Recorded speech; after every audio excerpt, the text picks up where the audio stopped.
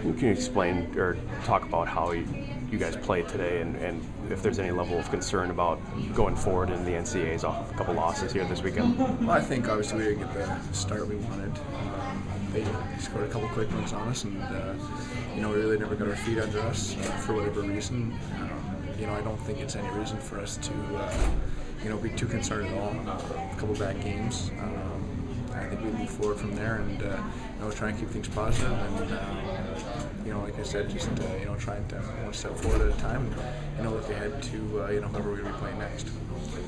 Do you do you take this week now to I mean, to, to look inside yourself, and, and obviously you have a, a, big chance coming ahead. Everyone's got four games to win from this point forward, uh, and you're you know right up there with anyone. So, do you, do you go back to any part of the season and try and draw off of anything, or just kind of move forward now?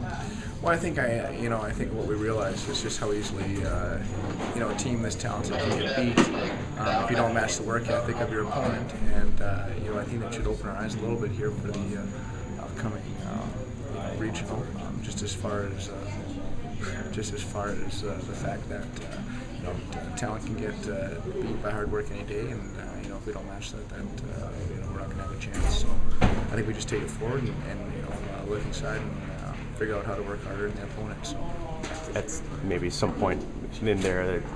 Uh, eye awake or eye opener is good then huh? mm-hmm. absolutely I think you know this is uh, you know kind of kick in the pants we needed and uh, you know, hopefully we can learn from it and uh, you know build off it and go from there.